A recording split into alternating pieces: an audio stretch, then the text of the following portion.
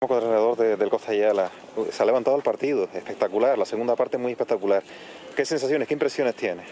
Pues mira, las impresiones son súper positivas porque es verdad que la primera parte el Más Paloma fue superior, entró con más intensidad, se colocaron tácticamente bien, tuvieron un gol ahí en el minuto 13 o minuto 14, que la verdad que se lo merecían porque estaban jugando mejor que nosotros.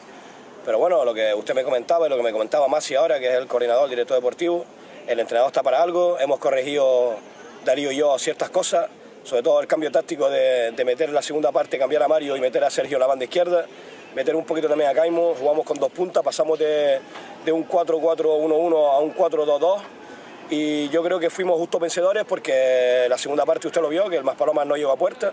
El equipo fue realmente como, como son mis equipos toda la vida, como es el Costa de hace tres años cuando subió, un equipo intenso, un equipo fuerte, un equipo que cuando tiene que tocar, toca, un equipo cuando tiene que jugar en largo, juega en largo.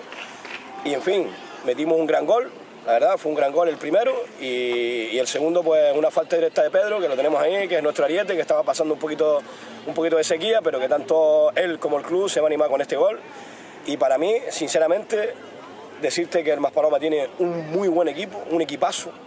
Me ha sorprendido bastante, de hecho me está sorprendiendo la, la regional preferente porque este año los partidos son muy, muy, muy competitivos y muy competidos hasta el último minuto. Pero tenemos que reconocer todo que fuimos superiores a la segunda parte y yo creo que merecimos ganar. Suerte.